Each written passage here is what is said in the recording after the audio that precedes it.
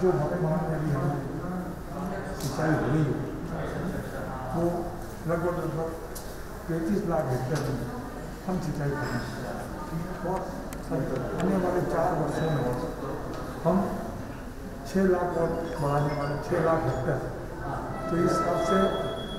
पूरे मध्य प्रदेश में इकतालीस लाख हेक्टेयर की हो जाएगी और इसी के साथ जो बुंदेलखंड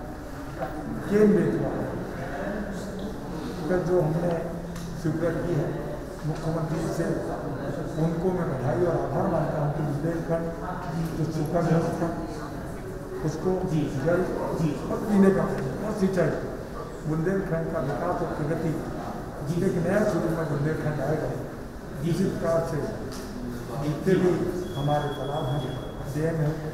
नहरें हैं। इनका सप्लाई हुई है और मुख्यमंत्री जी का संकल्प है कि किसी को लाभ का धंधा सिंचाई का रकबा बढ़ाना और मैंने उन्हें कोविड उनके नेतृत्व में मध्य प्रदेश में जो कंट्रोल किया है इसलिए मध्य प्रदेश की जनता की ओर से भाई और बहनों की ओर से बधाई दी कोविड के बाद जो वैक्सीन के अंदर मध्य प्रदेश राष्ट्र में नंबर वन है